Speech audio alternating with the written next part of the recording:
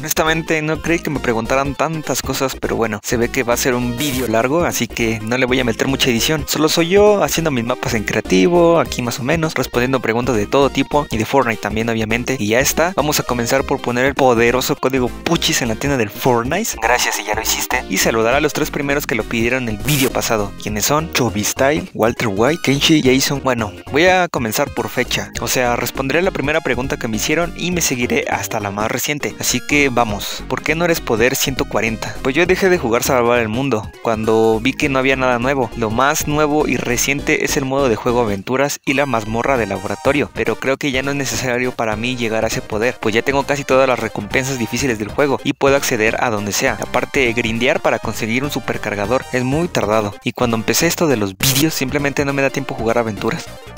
¿Cuántas veces te has pasado el I Wanna Be Boshi? Varias veces. Llegué a conseguir todo lo coleccionable y lo pasé en todas dificultades, excepto la imposible. De hecho, antes, hace muchos años ya, subía videos de cómo, cómo me pasaba ese juego.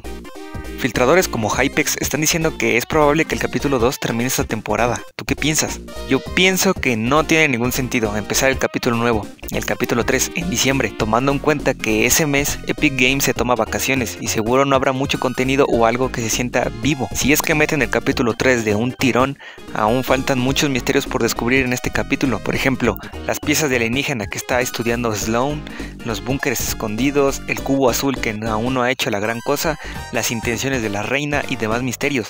Aparte porque el cómic reciente de Fortnite aún no ha salido todo lo que estamos viviendo. La fundación va a buscar a Jones, no sabemos su paradero y no sabemos cómo reaccione al ver a la orden imaginada haciendo sus planes y la reina en el centro del mapa. Yo sé que la gente quiere el capítulo 3 ya porque les aburrió el mapa y no sé qué y a mí también. Me gustaría que llegara el capítulo 3 lo más pronto posible, pero siento que es mejor no dar pasos apresurados y ver cómo se desarrolla la historia en las dos próximas temporadas si es que hay. Los filtros filtradores solo son eso, filtran archivos y ya. Ellos no toman las decisiones, ellos no ejecutan, solo informan y filtran. No todo lo que se ha filtrado ha sucedido. Hay cosas que se descartan, otras que están encriptadas, otras que tienen una fecha de expiración como los packs de tienda, otros que se tienen desde hace mucho tiempo ya y apenas se usan como el hongo sensei, etc. Debemos esperar a ver qué sucede realmente el 5 de diciembre. La información que hay ahora en redes y demás lados solo es copia y pega, copia y pega de la página, de la página, de la página, de la página, de la página, de la página, de la página, de la página, de la página, de la página, de la página de filtraciones. Así que aún no hay nada confirmado, vamos a esperar.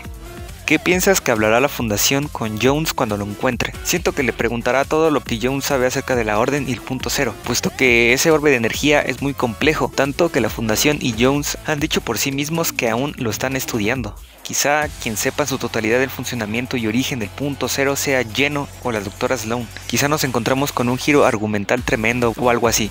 ¿Cuántas horas te tardas en crear teorías, mapas de creativo, revisar detalles como los del modo impostores, etcétera? Buena pregunta. Pues mira, en crear teorías me puedo tardar como unas 4 horas y puedo estar pensando en ellas en cualquier momento, incluso antes de dormir. Y al día siguiente pues ya hago mi guion en la computadora, investigo más acerca de lo que voy a hablar, apegándome a los hechos o a lo que puede ser más probable que suceda, lo que tenga más lógica. En mapas de creativo, ese sí me tardó muchísimo, como un mes entero para tener solo un mapa bien hecho, sin errores. Es más, estás viendo ahora mismo cómo hago un mapa que seguro estará en unas dos o tres semanas después de este vídeo y lo publicaré y les compartiré el código. Y revisar detalles de objetos y props, pues eso no es tan tardado. Yo tengo una vista muy, digamos, detective. Puedo ver un objeto fuera de lugar y lo relaciono a todo. O sea, conecto una cosa con otra y así para formar una teoría. Vas a responder a mi pregunta y si es así, ¿por qué? Sí le responderé porque es a lo que me comprometí a la hora de publicar esta imagen. ¿Cuál es el significado de la vida? El significado tú se lo das, tú haces tu camino hacia lo que elegiste ser o lo que aspiras a ser. Así que no hay algún significado puro y sostenido. El significado toma forma de acuerdo a lo que quieras hacer, a lo que deseas que ocurra. En esta vida puedes tomar millones y millones de caminos, pero sueles desviarte y eso está bien, para acomodarte y elegir en lo que eres bueno. Es un método simple de selección, guion, descarto y al final la recompensa. ¿Cuál es la pregunta más difícil que respondiste en este vídeo? Hasta ahora ninguna, y no creo que haya ninguna difícil. ¿Qué significa Nashe? La verdad no sabía y lo busqué y es una palabra de internet más como LOL, XD o algo así, la verdad no sé, no busqué muy bien. ¿Crees que sería bueno que Salvar el Mundo se recreara con mejor historia y con modelos del capítulo 2? Claro, Salvar el Mundo podría revivir aún con una buena historia que nos explique lo que aún no sabemos. Por ejemplo, cómo fue que el doctor Binderman creó todos sus experimentos, cómo murió, cuál era su propósito o el origen del rey de la tormenta. Y lo de los modelos, pues eso no es tan complicado, ya que si ves en la mazmorra del laboratorio, hay objetos que solo están en el capítulo 2, como los cristales que se pueden romper o la flora quimera. Me vas a contestar por Discord la teoría que te envié. Si ya la leí y eh, le voy a hacer un video cuando me dé tiempo, porque la verdad que ando muy ocupado. La verdad es que tengo como 5 o 6 videos más, así que no sé. ¿Por qué elegiste el nombre de Damián Boshi? Ese nombre lo elegí hace tiempo ya, desde que me creé el canal hace como 10 años.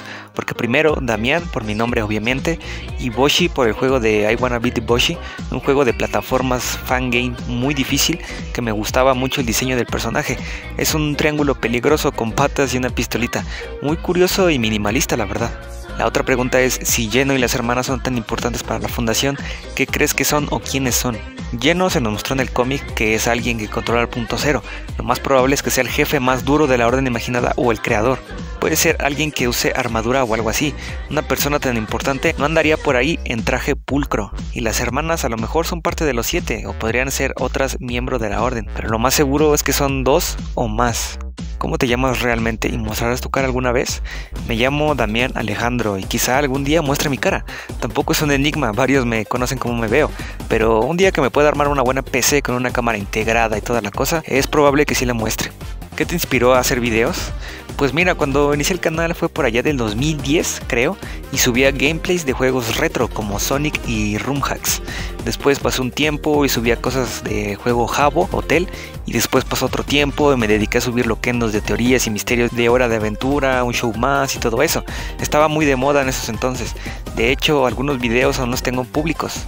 Tengo muchos más en privado que tal vez soltaré si me los piden. Después pasó tiempo y subía remixes de canciones de juegos como de Crash Bandicoot y hubo un tiempo muy corto en el que decidí de una vez por todas hacer loquendos de críticas sociales, pero el único video de ese tema que subí fue muy polémico y me lo tiraron a las dos semanas, así que decidí no hacer videos de ese tipo. No fue hasta que pasó mucho tiempo que decidí subir contenido de Fortnite Salvar el Mundo. Los old de este canal saben que inicié con eso. Después me pasé las teorías, que no era un nicho nada nuevo ni complicado para mí, pues el Salva te entrega mucha narrativa que puedes usar en Battle Royale y así inició esto. Y ahora lo que verdaderamente me inspiró fue lo que más odio, el clickbait. Yo hablaba con unos amigos mientras jugaba y se quejaban de que los videos de Fortnite eran puro clickbait y tenían mucho relleno. O sea que iniciaba un video y decían así. Antes de iniciar el video te invito a que des like, compartas, suscribas y des en la campanita y que comentes si no te aparecerá la bruja en la noche y usa mi código y suscríbete y usa mi código y dale like y antes de empezar les muestro esta jugada y te recuerdo que te suscribas y que le des like y que le des a la campanita y compartas y comentes. Te invito a que des like, te invito a que des like, te invito a que des like y usa mi código y usa mi código, digo, digo, digo, digo. Así que decidí yo hacer videos a mi estilo, entrando rápidamente a los temas que tratar, sin demoras ni mentiras.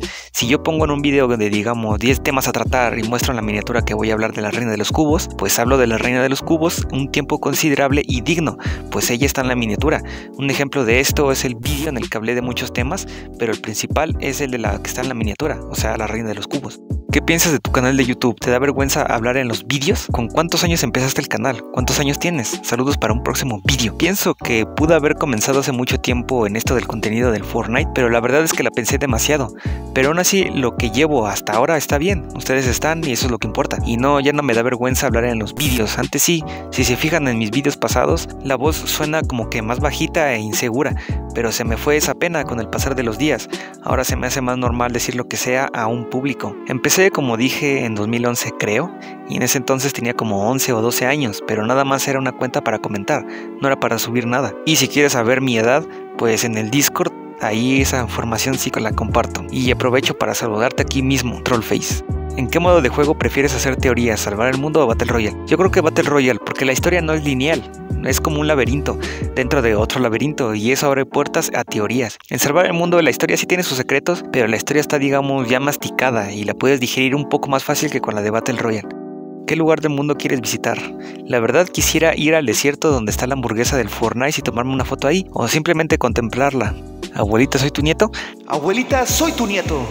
Marvel o DC. Marvel en películas, DC en series y en cómics los dos tienen lo suyo. ¿Algún día subirás contenido de algún otro juego? Sí me lo he estado pensando, me lo he estado planteando, pero ahora mismo no puedo, pues me estoy enfocando en Fortnite y aparte mi PC es muy lenta, no puedo dar el lujo de hacer tres videos a la vez. Si hago uno, lo tengo que terminar y así seguir con el otro. Cuando tengo un buen equipo, a lo mejor y si hago más contenido a granel.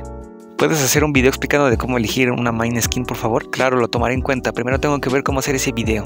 Película o serie favorita. Hay una película que les recomiendo 100% ver que se llama Infiltrado en el Clan. No digo el nombre en clave porque creo que YouTube se enojaría, pero básicamente trata de que unas personas afroamericanas se infiltran en ese clan de supremacía blanca y mejor no les cuento más. Es muy buena, está en Netflix y está en español. ¿Qué piensas de la situación actual del país? No sé de qué país te refieras, pero en el mío, México, la situación siempre ha estado mal. En algunos periodos de tiempos estamos un poco bien, pero al siguiente vamos otra vez mal, ya sea la subida de precios, la inseguridad, etc. Pero he de decir que sí que han habido cambios positivos en este gobierno actual, pero también tiene sus errores, como todo gobierno, pero creo que mejor que antes, sí, un poco mejor, tampoco la gran cosa.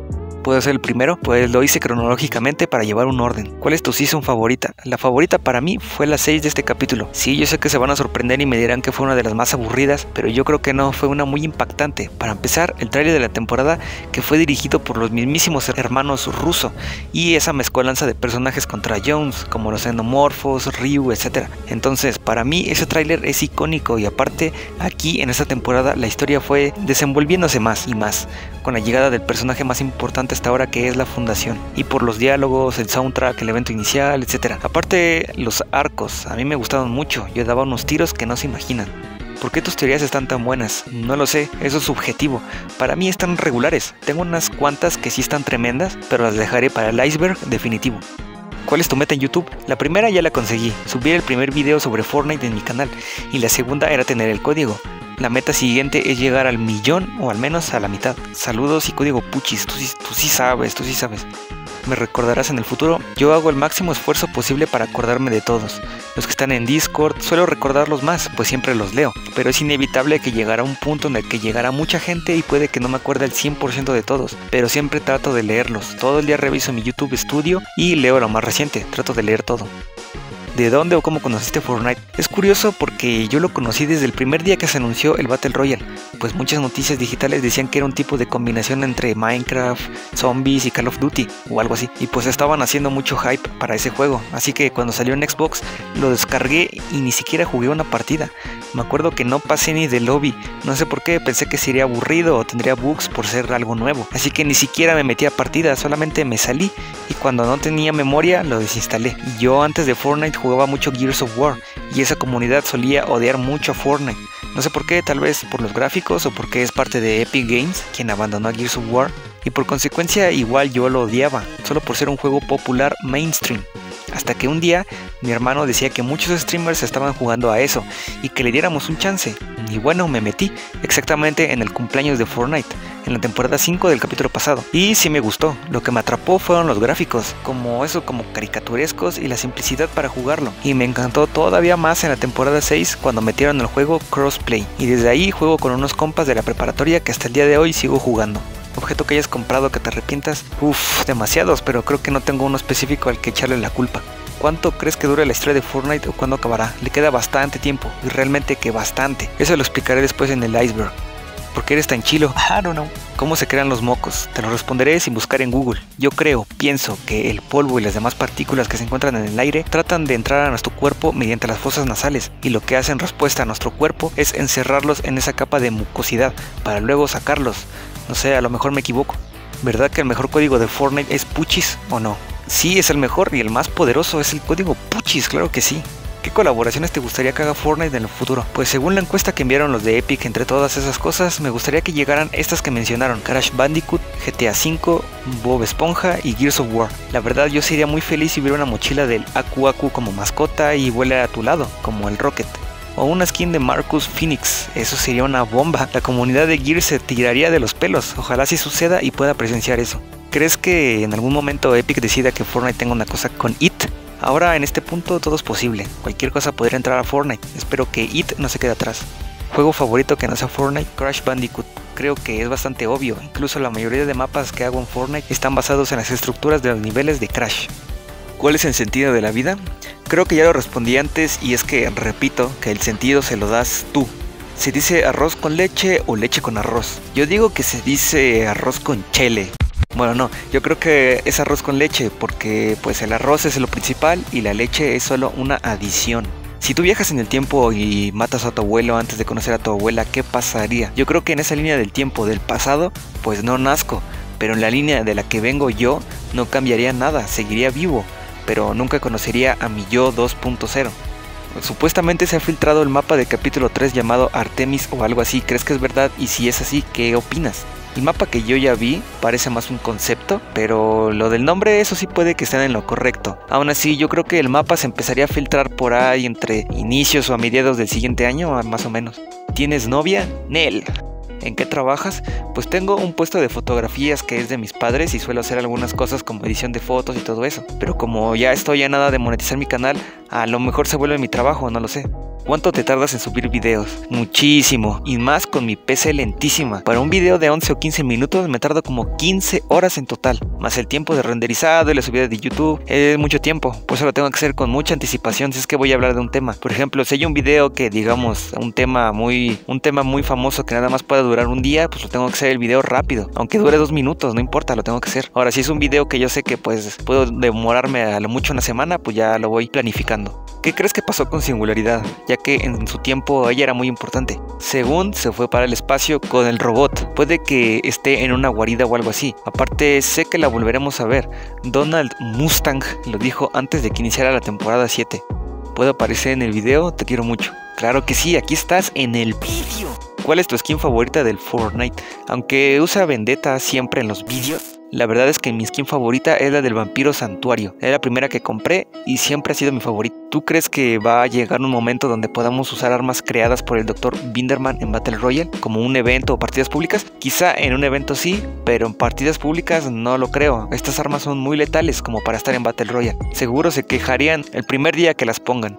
Para el final del capítulo, ¿crees que hay un evento donde podamos infiltrarnos en la base de la orden y acabar el bucle desde adentro de esta? Eso es lo que yo espero. En el video de los cambios de la primera semana de esta temporada lancé una teoría en la que dije que a lo mejor en el evento final de este capítulo nos meteremos en las instalaciones de la orden mediante los búnkeres y haremos un desmadre adentro. Eso sí estaría muy épico. Ojalá sí sea así. Ojalá sí sea así. Me gustaría hacer una raideada a la orden imaginada al puro estilo del golpe del fin del mundo de GTA Online. ¿Por qué crees o con qué propósito tendría lleno en su poder el punto cero? Pues según los cómics, la Orden Imaginada usa el punto cero para viajar a muchas realidades y reunir objetos valiosos de poder de distintas realidades, como el escudo del Capitán América que tenemos en Impostores. A lo mejor lleno es una combinación de villanos populares como Darth Vader, Thanos, yo qué sé, hay posibilidades infinitas. Tiene que ser un personaje verdaderamente épico. ¿Qué pasaría si nunca hubieran existido los brutos? Yo creo que la temporada X hubiera quedado como la mejor de todo Fortnite de no ser por los brutos, pero siento que es mejor que hayan cometido ese error de meter a los brutos para así no cometer esos mismos errores en el futuro. Di algún detalle de tu vida y di qué juego es tu favorito. Un detalle que puedo dar es que soy muy detallista, me gusta profundizar en algo que me gusta realmente. Digamos que me gusta la canción de yo que sé, la de Despacito pues no me conformo con la versión original. Busco una versión en rock, otra en cumbia, una que sea solo de voces, una sin autotune, una de versión solo instrumental, una en versión piano para replicarla, etc. Me gusta como que ver las variantes de una cosa, es por eso que me gusta hacer teorías de Fortnite, porque pues puedes extenderte hasta donde tu imaginación te lo permite, pero con lógica. ¿Crees que está cerca de estar al nivel de Alex PH? A ver, yo creo que Alex PH hay uno y Boshi hay uno, o sea, cada quien tiene lo suyo. No hay comparativas. Aparte, yo diría que alabanza en boca propia es vituperio pero sí considero que hay un contraste entre mis teorías y la de los demás, porque yo tomo en consideración distintas fuentes de información para hacer teorías. Por ejemplo, puedo tomar cortometrajes oficiales, la historia del Salva, información de foros, los cómics, etc. Yo siempre trato de buscar lo más posible antes de hacer una teoría. Si veo que la teoría es corta, pues trato de agrandarla con más datos que me encuentro por el camino. Pregunta, ¿qué significa Nashe? Lo intenté buscar en Google y creo que no significa nada. Ahora con el código de creador, ¿cuál es tu siguiente meta? Pues lo dicho, llegar al millón o a la mitad. Yo creo que es la meta que tengo ahora mismo. ¿Te gusta salvar el mundo? Y si sí, ¿recomiendas comprarlo? Pero claro, me encanta salvar el mundo, excepto por la duración ridícula de sus misiones. Y te recomiendo comprarlo solo si quieres saber más sobre la historia de Fortnite y ver lo que ofrece salvar el mundo, porque es muy distinto a Battle Royale, sí te lo recomiendo. Si lo quieres por los pavos, déjame decirte que no podrás sacar, porque los paquetes que se venden actualmente ya no son de fundadores, no podrás sacar más de mil pavos. Skin favorita, Santuario, la primera que me compré. Modo de juego, mi favorito es el modo de juego de John Wick, donde tienes que recolectar monedas y tienes un traje y todo eso, está muy épico. Y opinión acerca de Fortnite y qué crees que pase con este en los años siguientes. Mi opinión es que dentro de algunos años Fortnite será el juego más importante para la industria de videojuegos por muchas razones y por la creación de ese concepto del omniverso. Yo creo que en el futuro Fortnite será una plataforma más allá de un juego, sería como un tipo de red social. ¿Cuántas skins de ositos tienes? La verdad no te miento y es que solamente tengo una y es la del osito robot. La verdad nunca me han gustado mucho las skins de ositos. ¿Eres peruano? Eh, no, soy mexicano. ¿Por qué empezaste el canal? Primero hice el canal porque quería comentar por allá en el 2011 y después en 2020 retomé el canal y le di un giro extremo, radical, apuntando a contenido de Fortnite, porque quería exponer mis teorías y más cosas que tengo para ofrecer en este juego como tutoriales y bueno, todo eso. ¿Qué hubiera pasado si el plan de Midas no hubiera comenzado? A ver, plan de Midas solo hay uno y lo explicaré en un vídeo después. ¿Qué crees que pasaría si llegaran a meter a Fortnite vehículos como un tanque, un Humvee blindado, el helicóptero Apache, aviones como el F-22 Raptor, el F-35, el A-10 Thunderbolt y el AC-130? Si no sabes de lo que hablo, busca en Google, mijo. Yo creo que con la extensión del modo creativo pueden llegar a meter cientos de vehículos únicos como tanques, pero no creo que les pongan el nombre en específico. A lo mejor le ponen un nombre como los vehículos que tenemos. Por ejemplo, el todoterreno en Fortnite se llama Beer y el rápido se llama Whiplash o algo así. ¿Qué te pareció el nuevo cómic de Batman y la Fundación? Desde la perspectiva de la historia de Fortnite, muy bueno, aunque aún nos falta ver muchas más cosas. ¿Sos Team Orden Imaginada o Team Aliens? ¿O Team Cubo o Team La Reina? Aunque como los tres forman parte de un mismo imperio, dejémoslo en Team Alien. Si a mí me das a elegir entre Orden y Aliens, pues yo le voy a la Orden. Al final de todo es nuestra misma raza humana. ¿De dónde surge el término vídeo? Que usas mucho en tus vídeos. Excelente pregunta. La verdad es que la respuesta es muy sencilla. Y es que muchos youtubers españoles suelen decir vídeo en lugar de video. Pero no es que sea un error, es que así lo dice naturalmente. Entonces yo recargo esa palabra de vídeo en lugar de video. Porque siento que suena más gracioso y la próxima vez que escuches a alguien decir video, te acordarás de esa palabra. Hasta te sonará extraña. Palta o aguacate. Aguacate, pues soy de México. ¿Qué opinas de la skin del Chapulín Colorado? La verdad es que nos llegó de sorpresa a todos, lo que fue un chiste hace años atrás se volvió realidad, y pues mucha gente fue su infancia, y otra gente cree que el Chapulín y los personajes de Chespirito solo embobaron a toda una generación. No sé, cada quien tiene su opinión para eso, pero a mí en lo particular con la skin me parece genial que metan a uno que es originario de México. Ojalá podamos ver a otros personajes icónicos mexicanos como el Santo o Blue Demon. ¿Por qué de tu skin principal? Pues mira, la descripción de la skin Vendetta dice esto, mejora y anula. Y esa frase es una que se puede aplicar en cualquier cosa. En mi caso yo siempre trato de mejorar con cada día, con cada video nuevo y anular lo que no me sirve o lo que no me deja avanzar. Aparte, vendetta significa venganza. Por si algún día sucede algo con alguien o algo, pues tomaré venganza. Pero no creo que pase. Y porque la skin me gusta mucho su diseño, es muy infravalorada. Aparte, yo le elegí de este color por un detalle impresionante. Lo elegí naranja porque si es que llego a hacer un video montaje con esta skin, no usaré el color verde porque el croma se comería ese color. Así que el naranja es bueno para editar en los vídeos donde puede estar en una pantalla verde y no se vería afectado. Aquí es donde digo Big Brain Time. ¿En qué temporada empezaste a jugar Fortnite? En la temporada 5, capítulo 1 temporada favorita, la temporada 6 de este capítulo por lo que dije antes. Arma favorita, para mí la mejor es la térmica. Siempre asestaba todos los tiros con la mira térmica, hacía maravillas de tiros con esa arma. Tengo una puntería mortal. Lugares con nombre favorito, para mí fue la de Suburbios Estrellados, creo que se llamaba así, un lugar que duró solo una semana en la temporada X. Era muy tranquilo lugar, muy bello. Capítulo 1 o 2. A ver si con esta respuesta no se arma la guerra, pero para mí el capítulo 2 es por mucho mejor que el primero. No le voy a dar muchas vueltas. El mapa es más grande y se presta para hacer muchas cosas como eventos. Epic Games se volvió más generoso al regalar muchas cosas, ya sea mediante códigos, retos, ver streams, canjear premios, etc. Antes en el capítulo 1 era rarísimo que Fortnite regalara algo, y si regalaban algo era una mochila y ya está. Ahora en este capítulo nos regalan de todo. Nos regalan un set completo de la skin rubia oscura y la más reciente que es la de recomienda a un amigo. Aparte, los pases de batalla son muchos más amplios y únicos. Me refiero a que, por ejemplo, la skin de Menas, que es este gladiador, tiene una cara única que no se usa en otras skins. Y en el capítulo 1, las skins de pases eran Jonesis y Ramírez con diferentes trajes. Aparte, el capítulo 2 tiene eventos que son por mucho más espectaculares que el pasado. La razón por la que mucha gente le gusta el capítulo 1 es por la nostalgia y ya está. Bueno, cada quien tiene sus razones porque le guste qué cosa, ¿no? Pero bueno, no me meto más. Tengo más razones, pero las mostraré en otro vídeo. Me recordarás en el futuro cuando tengas un millón. Es bastante complicado acordarse de todos, la verdad. Pero lo que sí tengo seguro es que olvidarlos nunca. ¿Y cuál quisieras que fuera tu tipo de contenido principal? ¿Teorías u otros? Pues Fortnite en general. Mi nicho más fuerte son las teorías, considero yo. Pero después subiré otras cosas como memes, mapas de creativo, tutoriales, etc. Lo que sí voy a dejar al último como última opción serían los gameplays, porque no me llaman mucho la atención por ahora. En un futuro no sabemos. ¿Cuánto mides? Esta respuesta será un secreto, no lo revelaré ahora. ¿Qué consumes en YouTube? La verdad es que me gusta ver contenido sobre secretos, detrás de cámaras, tipo así de cómo se hizo este juego, cosas así. Aunque parezca raro, no me gusta ver contenido de Fortnite, porque es en lo que estoy metido casi todo el día, así que trato de despejar mi mente un poco de Fortnite cuando no estoy haciendo videos. Lo único que sí no me gusta ver en YouTube son gameplays. La verdad es que desde niño nunca le vi el chiste de ver a alguien jugar. Mejor en todo caso lo hago yo. Bueno, hay excepciones cuando hay algo especial de por medio. Por ejemplo, digamos que el que está haciendo el gameplay no sabe que el juego en realidad es un virus o va a aparecer algún scream o va a aparecer algún monstruo o algo así, yo qué sé. Ahí sí me gusta verlos. Incluso si yo hiciera gameplays, la verdad ni los vería yo mismo. Me aburriría. ¿Te gustaría colaborar con alguien de teorías como Alex o alguien así? Desde luego que me gustaría colaborar con alguien, un creador de contenido de Fortnite que le apasione la historia, las teorías, los secretos, pero dudo que alguien me haga caso, así que no me he contactado con nadie. La única manera que veo es que hagan eco y le hagan saber a alguien de teorías que si colabora conmigo, por favor. Yo creo que la voz del pueblo puede mover ciudades, no lo sé, llamemos la atención de alguien y a lo mejor surge una colaboración, veamos si nos hacen caso. Y estas fueron todas las preguntas que me hicieron en la publicación y ya está, quedé cansado de la garganta. Suscríbete ahora mismo, right now. Y si no, pues ¿qué se le va a hacer? estoy cansado.